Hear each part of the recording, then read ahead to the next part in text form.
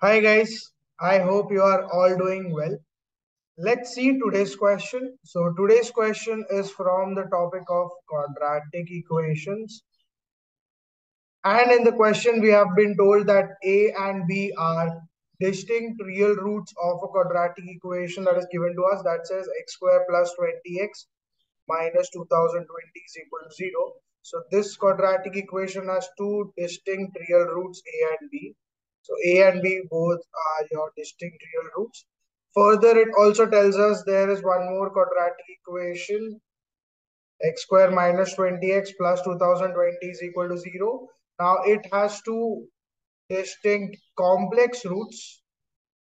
So I have two distinct complex roots C and D.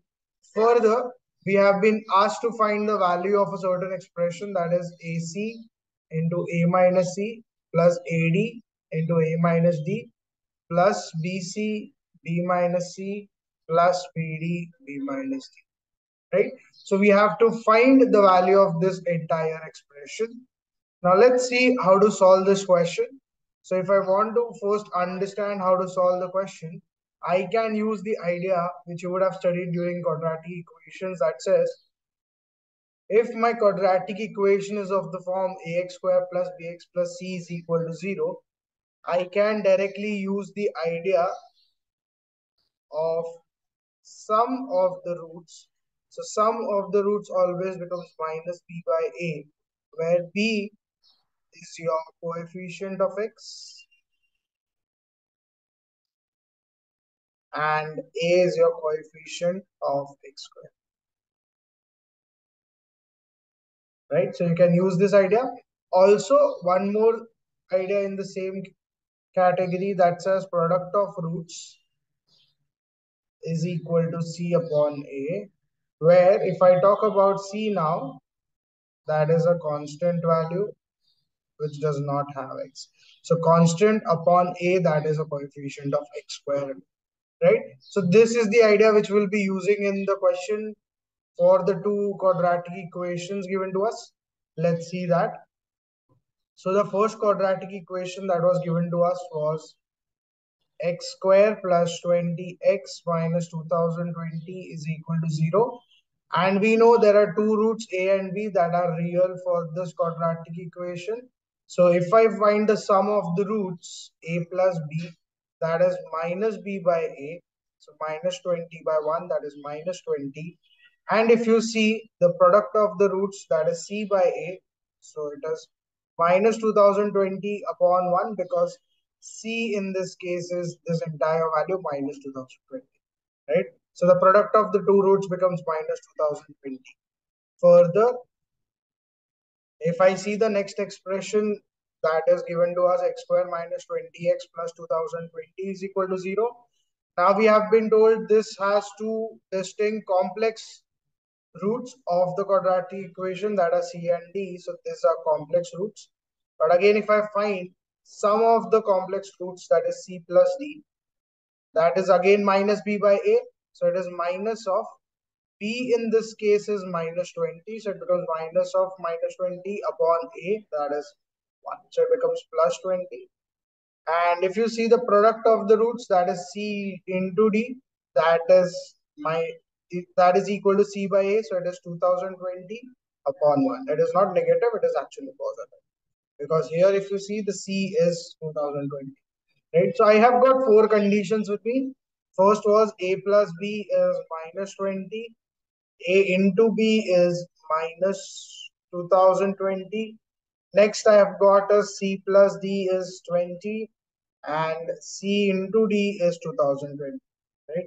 So now let's try to find the value of the expression which is given to us. So if we find the value of this expression that is given to us, it is AC into A minus C plus AD into A minus D plus BC into B minus C plus BD into B minus D. So if I solve this further, what I get A square C minus AC square plus A square D minus AD square plus B square C minus BC square plus B square D minus BD square. Now, if I try to find out some things common here, I can see I have terms for A square right? So I have these two terms with me. If I take out a square common, I get c plus d. Further, I can also see b square is common here as well as here. So again, if I take out b square common from that, I get c plus d. Further, if I see, I have c square also here as well as here. So if I take out minus and c square common, I'll be left with again a plus b here. Further, if I see the left out two terms are having d square common. So if I see minus d square taken common, I can again have a plus b. So now if I see the value which I get here, c plus d common from both of these first two terms. So I am left with a square plus b square minus here if I take out a plus b common from the next two terms, I have c square plus d square. So let's understand now. One idea I have with me is if I have the square of the two terms that are added, a plus b the whole square, I can write that as a square plus 2ab plus b square. Right? So if I want to write a square plus b square, I can write it as a plus b the whole square minus 2ab. So if I write it in that terms, I have a square plus b square also, I have c square plus d square also.